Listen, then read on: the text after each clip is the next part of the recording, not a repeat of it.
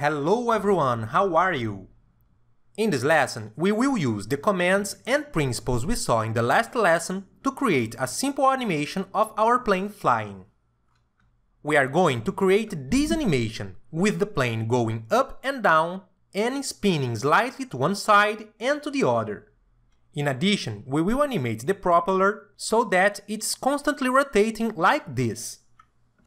And as we already parented the propeller to the plane in the parent lesson, when we animate the plane, the propeller will move with it automatically. Then we can start the animation planning by setting its total duration. We will make this video with 10 seconds. And as we have seen, at first Blender uses a rate of 24 frames for every second of animation. So, for us to have a 10 second video, we need our animation to have a total of 240 frames. If we look at this right part of the timeline header, we will see that there are two fields where we can determine in which frame the animation starts and in which frame the animation ends. So, for the animation to have 10 seconds, just type 240 in this end field here. Now we can start creating the animation of the objects. Let's start by creating the propeller animation. So that the propeller rotates throughout the animation, it will have a keyframe on frame 1, marking the beginning of the animation, and a keyframe on frame 240, marking the end of the animation. So, I will take advantage that the playhead is already here in frame 1 and I will select the propeller here in the 3D view, and I will hit the I shortcut key to open the keyframe creation menu, and I will insert a rotation type keyframe.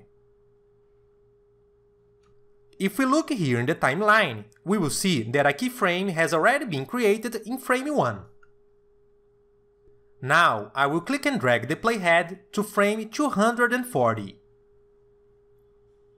and I will rotate the propeller enough so that its animation looks pretty fast in the final video.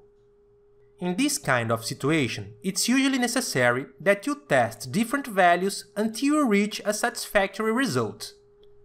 I've done some previous tests and found that about 50 turns of the propeller during this time interval creates a quick and interesting effect for this animation.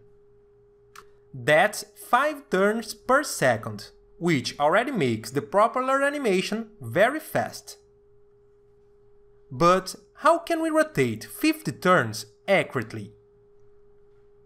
We already saw that we can rotate the objects using the Rotate tool here from the toolbar. But there is a way that we can use to transform the objects directly by numerical values. If we click this little arrow here in the upper right corner of the 3D view, or use the N shortcut key, we open and close this panel bar called Sidebar. And here, in the Item tab, we find the transformation values for location, rotation, and scale and we can see that we can click and drag to transform each axis separately here by numerical values. And as we can see, the propeller rotation axis in this case is the y-axis. These rotation values here in the sidebar are in degrees. As we want to set 50 turns in this keyframe, we need to multiply 50 which is the number of turns, by 360, which is the number of degrees per turn. And that's 18,000 degrees. So, if we type 18,000 here, put the cursor over the 3D view, press the I key, and click on Rotation we will create the final rotation keyframe for the propeller. And if we click the play button, we will see that the animation is already working.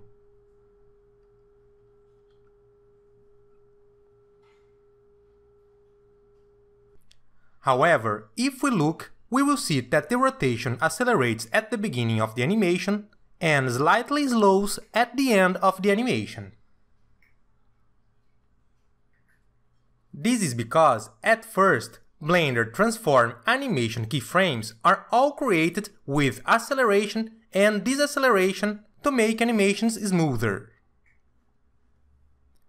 But in some cases like this, we will want the animation to be at constant speed, that means without acceleration and deceleration. And for us to change this property of the keyframes, we just have to select both of them here in the timeline, right-click over the timeline, and here in the interpolation mode submenu, we click on the linear option. This option will remove the acceleration and deceleration of the keyframes and make the animation speed constant between them. What we can already observe if we click the play button again.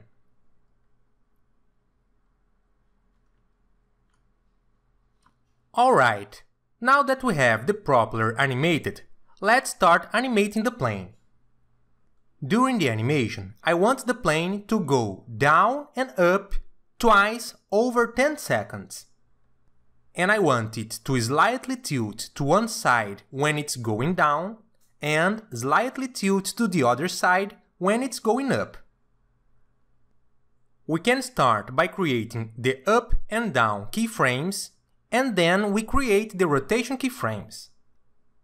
But as we will animate the plane in both position transformation and rotation transformation, we will always use the LocRot type keyframe, which stores simultaneously the position and rotation values. So, I will start by putting the plane up a little bit with the Move tool.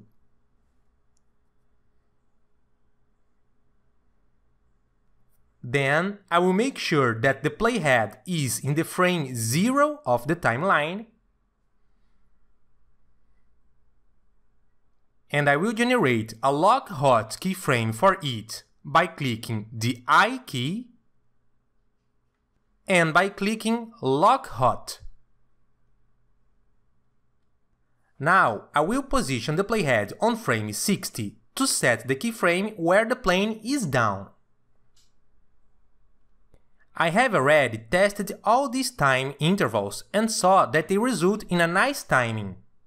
But when you are doing an animation for the first time, it's important to test different time intervals until the animation looks the way you want. Now, with the playhead on frame 60, I'm going to move the plane down a bit and I will generate another keyframe of the LocRot type. And if we hit play now, we will see that it's already going down. Now, if we want the plane to go up one more time to complete the cycle, we can duplicate the initial keyframe where the plane is up. To do this, we can select the first keyframe and, with the cursor over the timeline, use the Ctrl-C shortcut to copy and we can paste it with the Ctrl-V shortcut. But before pasting, let's position the playhead on the frame we want it to be pasted into. As we gave a 60 frame interval from the first to the second keyframe, I will position the playhead at frame 120 to keep the 60 frame interval. And now I will press Ctrl V to paste the keyframe that I copied. If we click play now, we will see that the plane is already going down and up. Now let's create the rotation keyframes between the position keyframes. The first rotation keyframe will be in the middle of the descent, that is, here in frame 30. Then I will position the playhead at frame 30. I will activate the rotation tool and rotate the plane slightly on the y-axis. And I will generate a LocRot keyframe by hitting the I key. Now, I will create the rotation keyframe for the moment the plane is going up. Then I will position the playhead here at frame 90. I will rotate the plane a little to the other side. And I will generate another keyframe of the LocRot type. If we click play now, we will see that the first cycle is already working. And then if we want to repeat this cycle for the other half of the animation, we can select all the keyframes, hit the Ctrl-C shortcut to copy the keyframes, and with the playhead on top of the frame 120, use the Ctrl-V shortcut to paste the copied keyframes. With this, everything we animated in the first half will be duplicated to the second half. And we can see it if we hit the play button again. And with that, we finish the animation of our plane. In the next lesson, we will see how to adjust the light and the camera so that we can generate the final video. So, thank you for watching and I see you on the next lesson.